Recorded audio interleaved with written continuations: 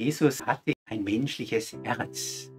Jesus hat so wie wir auch als Mensch gefühlt. Jesus kannte und kennt menschliche Freuden, er kennt menschliche Leiden, er kann mit anderen mitfühlen, er kann mit uns mitfühlen, er kann unsere Ängste, unsere Sorgen, unsere Nöte, aber auch unsere Freuden, unseren Jubel, äh, er kann das wirklich von innen her verstehen, weil er eben ein menschliches Herz hat. Und dieses Herz Jesu ist natürlich ein ganz großes Geheimnis, weil Jesus hatte ja keine Sünde, oder? Das heißt, dieses Herz, das war vollkommen verbunden mit Gott.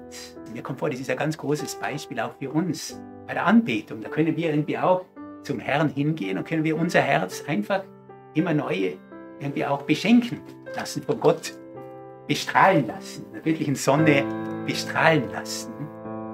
Ja? Und dann hat Jesus natürlich auch die Liebe, die vollkommene Liebe zu, zu uns Menschen gelebt. Wie er dann auf die Welt gekommen ist, da hat er zuerst einmal natürlich eine Liebe gehabt, auch zu seiner Mutter.